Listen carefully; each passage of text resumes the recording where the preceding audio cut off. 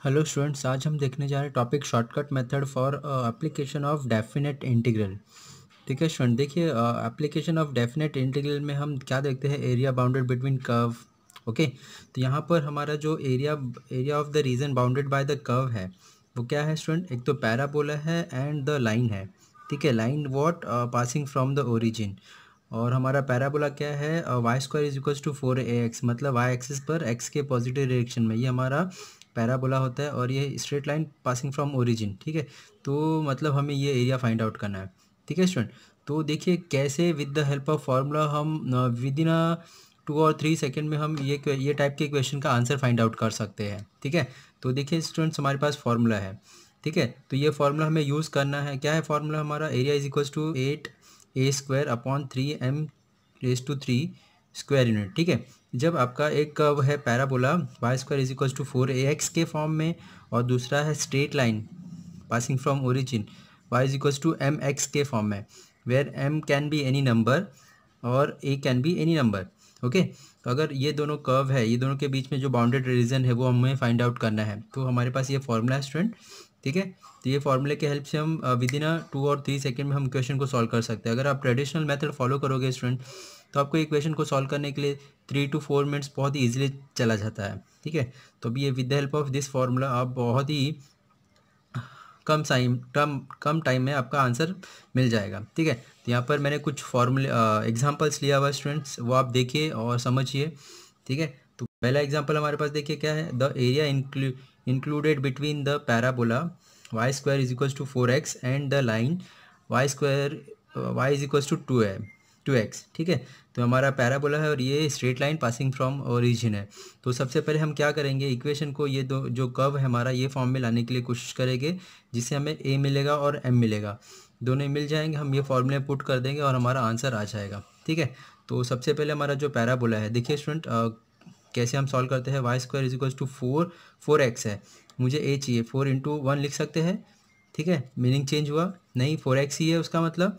ठीक है जिससे हमें देखिए ए मिल गया। A is equals to what one four into a into x के फॉर्म में आ गया। ठीक है four into a into x ठीक है नेक्स्ट दूसरा क्या हमारा लाइन है? लाइन क्या है हमारा?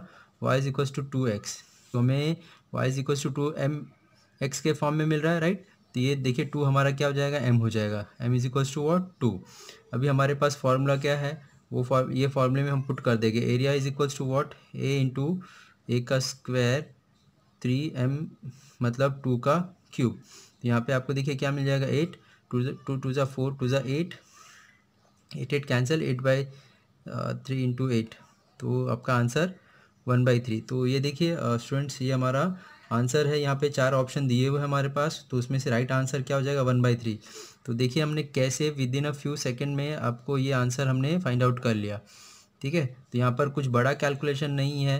सिर्फ़ हमें ध्यान रखना है स्टूडेंट ये इक्वेशन जो दो कर्व दिए हुए हैं, हमें ये फॉर्म में लाना है और ये फॉर्मूला याद रखना है। आपका फॉर्मूला याद है within a few second में आपका आंसर आ जाएगा। ठीक है? नेक्स्ट एग्ज़ाम्पल देते हैं स्टूडेंट देखिए क्या है हमारे पास। Next example area common to the curve y square is equal to sixteen x and the y is equal to two x same question है स्टूडेंट यहाँ पे हमारा जो पैराबोला है y square y square is equal to sixteen x है और ये स्ट्रेट लाइन है y is equal to two x है।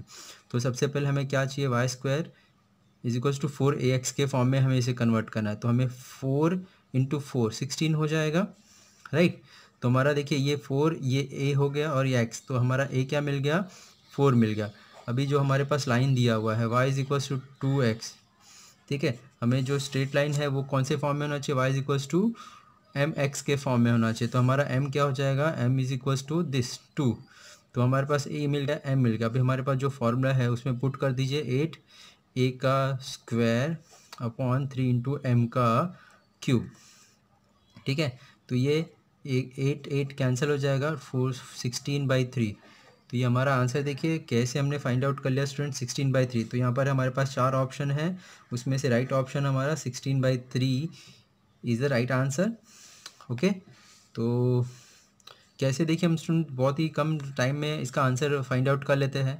अगर आप इसे इसे ट्रेडिशनल मेथड से सॉल्व करोगे, आपको डायग्राम बनाना पड़ेगा लिमिट फाइंड आउट करना पड़ेगा, उसमें अब इंटीग्रेट करोगे लिमिट पुट करोगे, फिर जाके आपको आंसर मिलेगा। लेकिन यहाँ पर हमने सिर्फ़ ए क्या है एम क्या है फाइंड आउट कर लिया, उसको कंपेयर करके और उसे हमने फॉर्मूले में पुट किया और आपका आंसर आ गया। ठीक है? नेक्स्ट एग्ज़ाम्पल देखिए स्टूडेंट्स यहाँ पे क्या दिया हुआ है? If the area bounded by the curve parabola and the line is one by three then find the value of m यहाँ पर कुछ उल्टा है, हमें एम फाइंड आउट करने के लिए बोला हुआ है, ठीक है? यहाँ पर सेम जैसे हमने फॉर्मूला अप्लाई किया, वही फार्मूला हमें अप्लाई करना है। तो यहाँ पर देखिए y square is equal to four into a into x तो सबसे पहले हमारा ए पता चल गया, हमें ए क्या है? हमारा वन है, और y is equal to m x है, ठीक है? तो ये एम तो एम ही रहेगा। हमें एरिया बाउंडेड बिटवीन दो टू कर्व दिया वो वन बाई थ्री है। तो यहाँ पर अभी हम फॉर्मूला यूज़ करते हैं area is equals to eight a square by three m cube area क्या दिया हमें? क्वेश्चन में दिया हुआ कि ये दोनों का जो बाउंडेड बिटवीन द कर्व है, वो कॉमन एरिया क्या है? वन बाई थ्री है। अभी हम इसे सॉल्व करेंगे एट ए क्या है हमारा? वन का स्क्वायर अपॉन थ्री एम का क्यूब ठीक है? तो ये थ्री थ्री कैंसिल हो जाएगा। ये एम वहाँ पर जाएगा।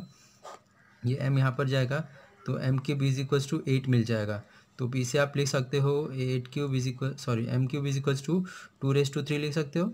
इसका मतलब एम देखिए हमारा क्या मिल गया m is equals to what two comparing the equation तो यहाँ पर देखिए हमारा राइट आंसर क्या है? सी ठीक है? तो देखिए स्टूडेंट्स कैसे हम within a few second में हमने आंसर फाइंड आउट कर लिया सभी क्वेश्चंस के, ठीक है?